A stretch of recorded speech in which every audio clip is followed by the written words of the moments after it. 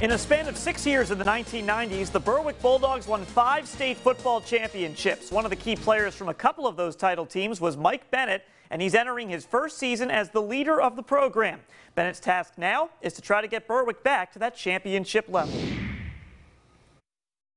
This is something that I have been working towards. You know, everything I have done, you know, since I came back from school, back from college, was hopefully getting to be the head, you know, of the Berwick area football program. And uh, it's just, it, it's exciting right now.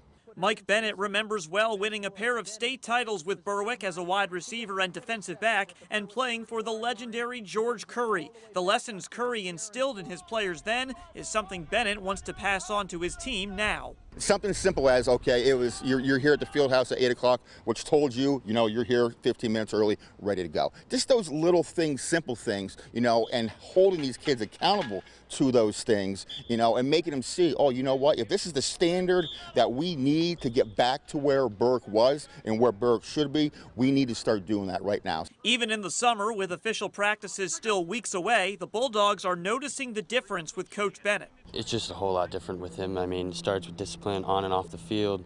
We have to be here on time. We have to be doing the right things off the field. It just he brings a lot to the table.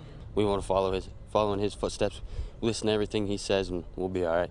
It starts with practice, you know, like like out out here every day, coming early. I mean, leaving later, getting extra work.